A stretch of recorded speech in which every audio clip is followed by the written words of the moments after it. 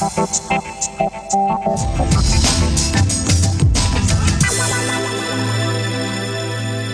็นจากอายุที่เพิ่มขึ้น เพราะในคนสูงวัยเนี่ยจะเป็นวัยที่มีการทำลายเนื้อกระดูกมากกว่าวัยอื่นๆนะคะ อีกสาเหตุหนึ่งที่สำคัญคือเรื่องของสตรีวัยหมดประจำเดือน เพราะว่าฮอร์โมนเพศมีความสำคัญเกี่ยวข้องกับการสร้างเนื้อกระดูก พอเข้าสู่วัยหมดประจำเดือนฮอร์โมนเพศลดต่ำลง ก็จะมีการทำลายกระดูกในช่วงนั้นเยอะมากนะคะอื่นๆ นอกจากนั้นก็คือเรื่องการรับประทานยาบางชนิด เช่น ยากลุ่ม ยากันชัก ยากันเลือดแข็ง และยาอีกตัวที่ใช้กันเยอะคือสเตียรอยอาการของโรคกระดูกพุนนะคะ จริงๆแล้วก็คือไม่มีอาการค่ะ เพราะกระดูกพุนเนี่ยเป็นภัยเงียบที่เกิดขึ้นกับใครแล้วเนี่ยจะไม่มีอาการให้รู้เลย จนกว่าจะเกิดภาวะกระดูกหัก ราะนั้นจึงแนะนำให้มีการตรวจวัดมวลกระดูก โดยเฉพาะในสตรีที่อายุเกิน 65 ปี หรือในเพศชายอายุเกิน 70 ปี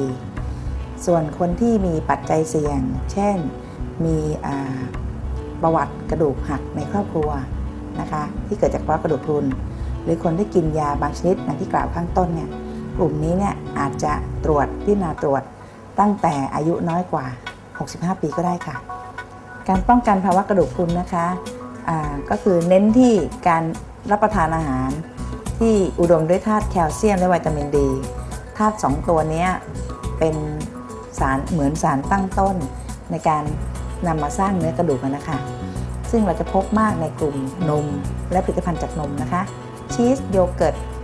นมเปรี้ยวอะไรนี่นะคะแต่มีแคลเซียมเยอะเต้าหู้ หรือว่าปลาเล็กปลาน้อย ผักใบเขียวนะ อันที่สองคือเรื่องของอพฤติกรรม พฤติกรรมการดำรงชีวิต เช่นคนบางคนไม่ออกกำลังเลยวันๆนั่งกินนอนกินนะไม่ไม่ออกแรงเลยอะไม่ทำอะไรเลยนะหรือพฤติกรรมการดื่มน้ำอัดลมนะเยอะๆดื่มสุรานะสูบบุหรี่กาแฟเยอะพวกเนี้ยก็จะเป็นอันที่ละลายแคลเซียมออกไปจากตัวนะนะส่วนที่ 3 คือเรื่องการออกกำลังกาย ซึ่งการออกกำลังกายเนี่ยมีบทบาทสำคัญอีกอันหนึ่ง นะที่ทำให้กล้ามเนื้อขาแข็งแรงทำให้กระดูกกระตุ้นการสร้างเนื้อกระดูกได้ และส่วนสุดท้ายคือการป้องกันการหักล้มนะคือวินิจฉัยจากการตรวจกระดูกแล้วเป็นกระดูกพรุนแน่นอน อันนี้พระเอกคือการใช้ยาต้านการทำลายกระดูก ส่วนยากลุ่มอื่นๆ คือแคลเซียมกับวิตามินดี ก็เป็นเสมือนอาหารเสริมที่ช่วยกัน ส่วนด้านอื่นๆ ก็คือการปรับพฤติกรรม หรือการออกกำลังกายดังกล่าวข้างต้น ส่วนอีกอันหนึ่งคือการออกกำลังกายเพื่อการทรงตัว อันนี้ขอย้ำตรงนี้นะคะ เพราะในผู้สูงอายุนั้นเนี่ยปัญหาการทรงตัวเนี่ยเป็นปัญหาสำคัญของเขาเลย คือล้มง่ายแปลอย่างนั้น เมื่อล้มง่ายบวกกับการที่มีภาวะกระดูกพรุนอยู่เป็นทุนเดิม ก็ทำให้เกิดกระดูกหักง่ายไงนะมันถ้าเราไม่อยากจะให้เกิดปัญหานี้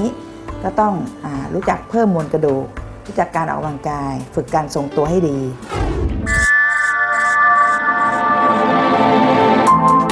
วัสดีครับ นี่คือรายการหนี้แผ่นดิน และทุกวันอังคารในรายการหนี้แผ่นดินนะครับ เรานำเสนอเรื่องราวของสุขภาพเกือบหนึ่งชั่วโมงเต็มครับปวดหัวปวดเมื่อยตัวทั้งตัวยาเม็ดคุมกำเนิดชนิดใหม่ๆอาจจะคนกี่หมื่นกี่แสนคนก็แล้วแต่ แล้วก็ไม่รู้ตัวว่าป่วย